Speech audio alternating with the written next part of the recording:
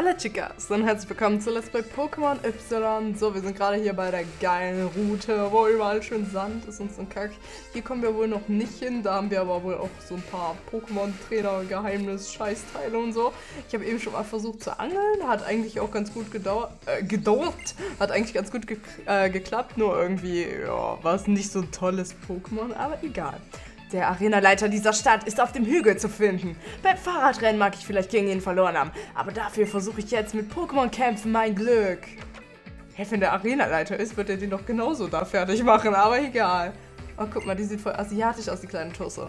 Wenn man ein Pokémon mit einem Item ausstattet und es anschließend mit einem Freund tauscht, macht man ihm damit ein zusätzliches Geschenk. Ach nein, ist ja nicht irgendwie logisch oder so. Es gibt übrigens auch Pokémon, die sich beim Linktausch mit Freunden entwickeln. Weiß ich schon. da, da habe ich schon eine coole Geschichte. Oh, danke. Äh, da hatte ich nämlich auch eine coole Geschichte. Ich hatte damals so ein Kadabra oder so. Äh, das habe ich bis auf Level 100 trainiert. Ich habe mich die ganze Zeit gefragt, boah, wieso entwickelt sich das nicht? Ich habe mich richtig aufgeregt und so. Und habe ich schon gefragt, hä, wieso geht das nicht? Wieso geht das nicht? Was läuft da falsch? Was ist das? Und dann habe ich das mal irgendwann gelesen, dass man das tauschen muss. Weil früher habe ich ja Spiele so noch äh, gespielt, dass man eben äh, nicht nachguckt, wie was funktioniert, sondern es selber rausfindet. Ja, und das war dann ein bisschen scheiße. Wenn ich beim Angeln an einer Stelle kein Glück habe, versuche ich es eben woanders. Und wenn eine Attacke nicht richtig wird, probiert man eben eine andere aus. Ist doch mit allem im Leben so, wenn etwas nicht so klappt, wie man sich das vorstellt, muss eben eine andere Herangehensweise her. Oh, philosophisch. Wie süß. So, was haben wir denn hier? Relievera. Relievera. Relievera. Ah, wie gemacht für ausgelassene Spaziergänge. Sexy. Okay, da haben wir die Arena, da ist ein Fahrradschuppen. Aber ich möchte mich umziehen. Ich möchte einen geilen Laden für Kleidung. Mann, wo sind die denn alle, die sexy Boutiquen? Warte, ist das eine Boutique? Das ist eine Boutique. Werden die mich jetzt auch rausschmeißen, weil ich nicht so stylisch bin, dann rieche ich mich aber auf. Hi. Guten Tag. äh, das wäre jetzt gar nicht komisch. So, Skinny Jeans. Oh, die Jeans sieht voll geil aus. Die will ich haben. Ja, danke. Das Oberteil sieht scheiße aus, die Schuhe, naja. Ich will doch nicht so komisch schlüpfen da. Ups, nein, nein. Wobei, der Parker sieht eigentlich voll cool aus. So die ganze Zeit so bauchfrei, so rum. zwei Farben Jeans. Wieso zwei Farben? Die ist doch einfach nur grün. Straße. Oh Gott, die sind auch hässlich, die Schuhe. Da fand ich die roten irgendwie cooler. Ach, das Tanktop ist hübsch. Oh, sowas würde ich auch anziehen irgendwie. Ja, grüne Socken zu pinken Schuhen. Ernsthaft? Das ist ja mal ekelhaft. Ich glaube, da nehme ich doch die Schuhe, weil die sehen am stylischsten aus von denen hier. Äh, was haben wir denn hier? Was ist das denn? Ah, oh, eine Handtasche. Okay, von mir aus. Boah, die ist auch voll teuer, hallo? 8000 Euro für eine Handtasche. Das ist bestimmt so Gucci hier und sowas. Flügel-Sonnenbrille. Ja, die Sonnenbrille ist doch gar nicht so übel. Aber der Hut ist auch nicht so übel. Oh ja, doch, der sieht schon ein bisschen komisch aus. Was ist das denn hier? Achso, da kann man gar nicht auswählen. Das auch nicht. Na super. Gut, dann ziehe ich mich doch gleich mal um. Ähm, direkt mal neue Sachen anziehen. Das mache ich irgendwie auch immer. Wenn ich so shoppen gehe, dann ziehe ich immer direkt die Sachen an, die ich gerade gekauft habe. Weil ich dann immer denke, oh, das sind die geilsten Sachen, die ich habe und so. Die Popkappe, kann ich ja mal kurz gucken, wie die aussehen würde. Hässlich. Boah, die ist ja mal richtig hässlich. Pottenhässlich. Äh, ich glaube, ich nehme aber die Schirmmütze. Weil die erinnert mich irgendwie immer an diese Marley von äh, Glee. Einfach weil es cool ist. So, was ist das denn hier? Ach du Scheiße. Gott, das sieht ja mal richtig bitchig aus. Muss man einfach mal sagen. Und das? Naja, das sieht auch komisch aus. Skinny Jeans, die finde ich geil. Yeah. Guck mal, wie stylisch das aussieht. Ah ja, das Ensemble finde ich eigentlich auch schön. Nur, naja. Die grünen Socken. Oh, die sieht man hier in dem Outfit auch natürlich voll gut. Na, hallo, ich trage irgendwie immer Kniestrümpfe, ist mir mal aufgefallen. Straßenschuhe, oh nee. Lila Bar. Also bitte. äh, sind das die, die ich gekauft habe? Ich glaube schon. Das passt irgendwie nicht zu dem Oberteil, aber egal. Ich weiß, ich mache gerade wieder so unnötige Scheiße, aber irgendwie finde ich es lustig. so, hier mal alles durcheinander. Das ist doch eigentlich ganz nett. Und die hier. So, ja, ist doch eigentlich ganz nett, oder? Ja, komm, wir ziehen uns einfach mal so um. Finde ich gut. ah, Stylish-Rolle. Ach, sieht doch gar nicht so übel aus, oder? Nur abgesehen davon, dass das eine Oberteil vielleicht ein bisschen freizügig ist. Bestimmt ist es so richtig kalt in Pokémon gerade und ich so, yeah, komm, ich schreie einfach bauchfrei rum. Yeah, cool. Vielleicht kommen wir jetzt in den Shop ähm, bei Illumina City. Das wäre cool. Aber müsste man vielleicht erstmal gucken, was ist das hier? Ich glaube, ich gucke mich jetzt gerade mal erstmal so ein bisschen um. Hier haben wir wieder ein Hotel. Herzlich willkommen, bla bla bla.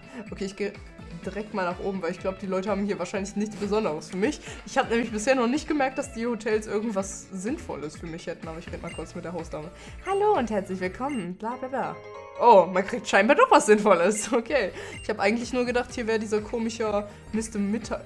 Mittag, genau. Mr. Miteinander. Der ist irgendwie immer hier in diesen komischen Hotels. Einfach nur, um seine komische oh, Kraft zu verteilen und so. Na, ist er wieder hier? Natürlich, wie soll es anders sein? Hey! Bla bla bla, nein. In diesem Sinne, bla bla bla bla. Bla bla bla bla bla bla. Kaufkraft! Braucht man sowas? Ah, okay, das erhöht das äh, Geld, was man am Ende von einem Kampf kriegt. Okay, das, das, das ist interessant. Gut, es ist nicht so sinnvoll. Ich habe mir eher unter Kaufkraft vorgestellt, dass man jetzt vielleicht beim äh, Einkaufen in so Läden oder so weniger Geld bezahlen muss oder so, aber naja. Ansonsten ist es ja auch ganz okay. Ne? Ich laber nur kurz mit den Leuten, ohne das wirklich zu lesen. Vielleicht haben die ja sonst auch irgendwas Besonderes für mich. Der Hololog ist ja auch nicht so interessant, finde ich jetzt persönlich. Ich rede gerne im Schlaf. What the fuck? Angst. Komische Frau. Also meine Cousine hat mal bei mir gepennt und die hat gesagt, ich würde im Schlaf reden. Das fand ich irgendwie gruselig. Ich glaube aber nicht, dass ich sehr oft im Schlaf rede.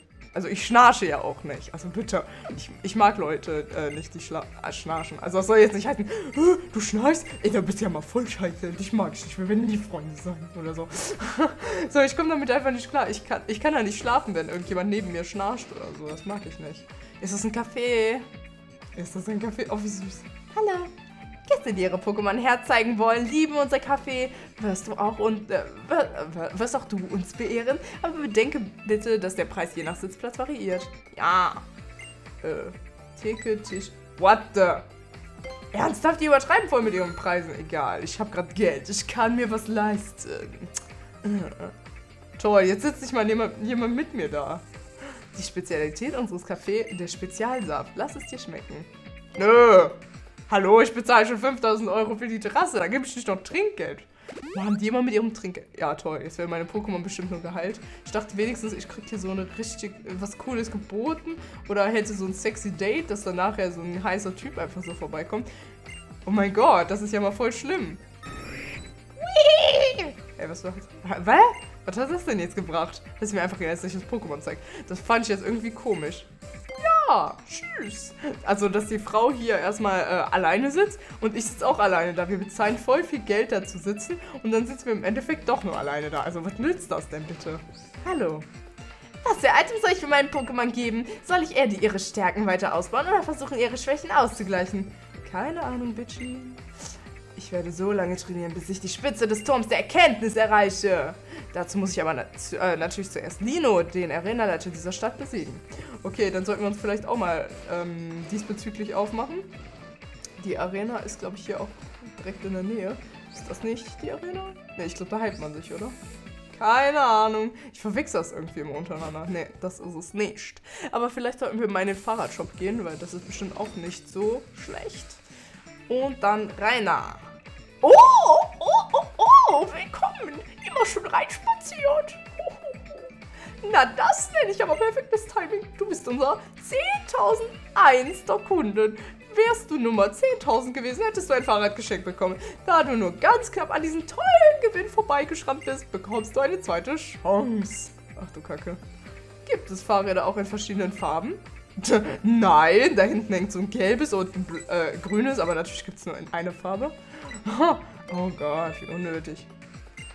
Richtig, ich bin mir sicher, das Fahrrad wird bei dir am besten sein. Du liegst Fahrräder. Ja, augenscheinlich nur, weil ich weiß, dass es die in verschiedenen Farben gibt. Äh, oh Gott, das ist so eine schwere Entscheidung.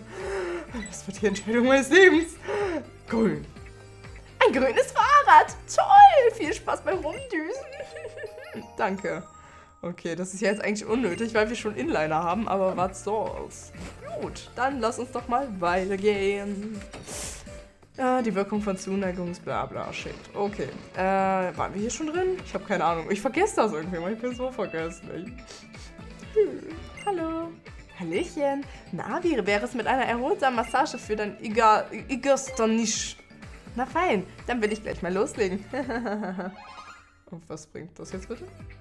So, die Massage hat ihre Wirkung nicht verfehlt. Das Pokémon ist jetzt wohlgesinnt. Aber das ist wahrscheinlich, um die Beziehung zwischen den Pokémon irgendwie zu verbessern oder so. Eine Massage öffnet die Türen zu den Herzen der Pokémon. Da mögen sie einen gleich viel mehr. Ja, es gibt ja so spezielle Pokémon, die sich nur entwickeln, wenn die die höchste Zuneigungsstufe haben oder so. Und ja, so war halt. Dann könnte man nämlich auch unter anderem so eine Massage machen. Also äh, ist wahrscheinlich ganz hilfreich. Äh, was ist denn hier so? Kann ich dich vielleicht ein, für ein leichtes Ratspiel begeistern? Gut, dann fangen wir an. Mit welchen dieser drei Beerensorten hypt man für gewöhnlich Verwirrung? What the fuck, will ich das wissen? Bingo! What the fuck, einfach nur geraten. Die Attacke Angeberei erhöht ja bekanntlich den Angriffswert des Ziels, aber welches der folgenden Statusprobleme bekommt es dazu verpasst? Angeberei. Angeberei. Verwirrung meine ich, oder? Ding, ding, ding, ding. Vollkommen richtig. Oh Gott. Alles nur geraten, aber okay. Mhm, ja. Äh, erhöht sich dessen Angriffswert. Die dabei entstandene Verwirrung wird durch die Persenbeere geheilt und das Pokémon mit dem erhöhten Angriff bla bla bla bla bla. Oh Gott, kompliziert, ganz viel taktisch, das mag ich nicht. Ih, geh weg, Hilfe. ich meine, es war ja schon Glück genug, dass ich das überhaupt lösen konnte. Hi. Die Kalos-Region ist einfach riesengroß. Sie ist so riesig, dass es sogar drei Versionen des Pokédex braucht, um sie komplett abzusecken. Übertreib einfach. Manche Dinge können Pokémon besser, andere Aufgaben wiederum bewältigen Menschen besser. Wenn sie ihre Stärken kombinieren, können sie gemeinsam große Dinge erreichen. Oh, wie süß. Nein, ich kämpfe jetzt nicht mit dir. Hab keine Zeit. ähm, okay, warte. Was wollten wir noch machen? Was darf... Ach, oh, jetzt rennt schon wieder in den Klamottenladen rein. Das war irgendwie klar. Ich bin manchmal so schlau. Äh, war ich hier schon? Äh... nee, ich glaube, ich war hier nicht. Ich war nur daneben in dem komischen Café drin, aber hier war ich nicht. Ach doch, natürlich war ich hier. Oh, Menschenskinders. Und jetzt wird schon wieder zu kämpfen herausgefordert. Mann, ich glaube, das nächste Mal mache ich einfach das Internet aus, weil scheinbar wird ich doch wieder mit der Scheiße zugespammt, ey. Basis. Ich mag Basis. äh, was? Es ist ein tolles Gefühl, über den Hololog immer die neuesten Informationen zu erhalten. Bringt das überhaupt was? Kann man selber diesen komischen Hololog da benutzen? Ich habe keine Ahnung. Was kommt denn auf einmal her? Was machst du denn hier? Das Fahrradrennen ist bereits gelaufen. Ich habe übrigens den ersten Platz gemacht. Tut mir leid, dass du es verpasst hast. Hier, du kriegst von mir als Trost die VM-Stärke. Wenn du eines deiner Pokémon davon Gebrauch machen lässt, kannst du fortan große Felsen beiseite schieben, die dir im Weg stehen. Oh, thank you very much. Bam. Cool, danke.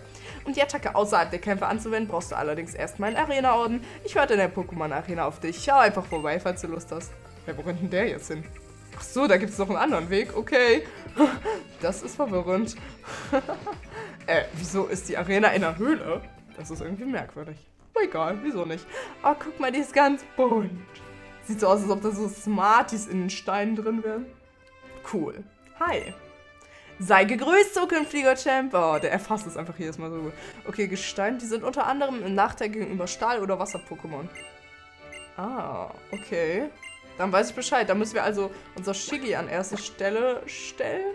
An erste Stelle stellen. Ha, ha, ha. Ähm, damit wir in dem Kampf gut klarkommen können. So, das müsste ja eigentlich kein Problem sein. Oh, solche Wände fand ich immer voll cool damals. Die gab es doch immer an so Spiel... Dingens, Bummens halt eben, in so komischen Spielparks. Die fand ich immer so cool. Aber irgendwie durfte ich das nie machen. Mein Vater hatte immer Angst, dass ich runterfalle. fand ich voll gemeint. Trainerhoffnung. To me. Keine Ahnung, was das für Teil ist. Auch das hässliche. Ih, ist ja ekelhaft. Mm, arrogant, arrogant, arrogant. Und so.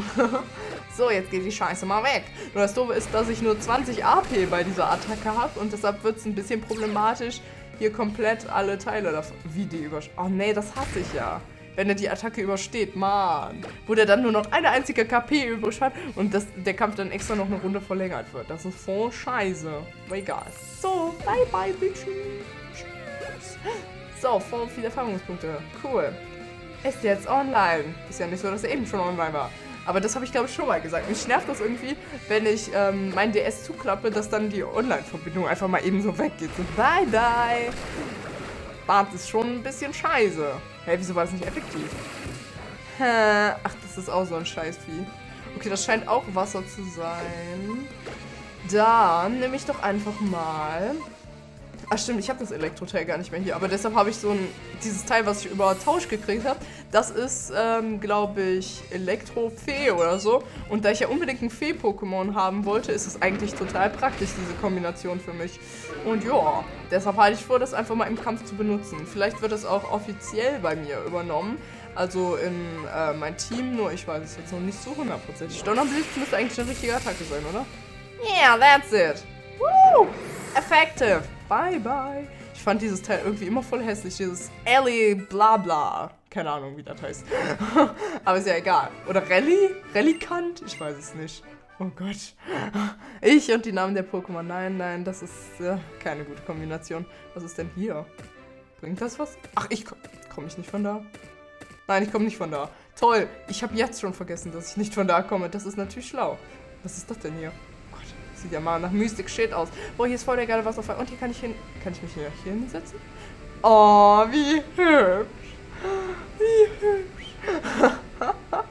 Oh Gott, ich raste manchmal einfach aus. Ich weiß auch nicht. Das, das kommt einfach manchmal vor. Ich kann da nichts für. Jetzt sind wir hier schon wieder am Anfang. Ja, geil. Das hat ja jetzt mal total gebracht. Egal. Gehen wir jetzt nochmal den Weg hier hin. Dann wissen wir jedenfalls, wo wir dann rauskommen, wenn wir da lang gehen würden. Also nicht mehr hier runter, sondern vielleicht mal hier hoch oder so. Hallo? Sagt ihr hier hoch?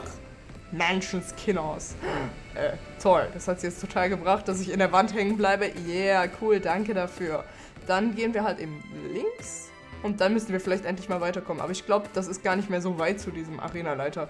Weil gerade am Anfang sind diese ähm, Passagen, wo man sich hier wirklich ein bisschen bewegen muss, erstmal sowieso sehr kurz. Also, no problem. Hier müsste man dann eigentlich auch wieder so ganz locker runterkommen. Was ist hier?